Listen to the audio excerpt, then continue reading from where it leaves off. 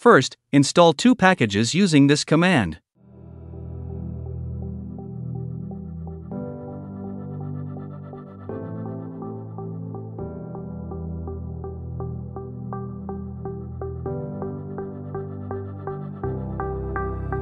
Lost in the ocean.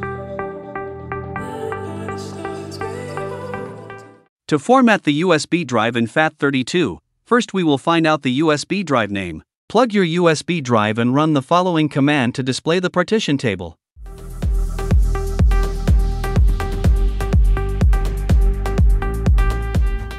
As you see in the output, my USB drive name is slash dev slash SDB1. Once you find out the USB drive name, unmount it. To unmount the drive, run this command. Finally, format the USB drive in FAT32 using this command.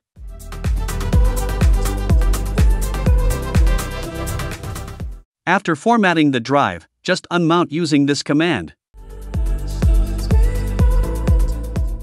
Then, replug the USB drive to start using it.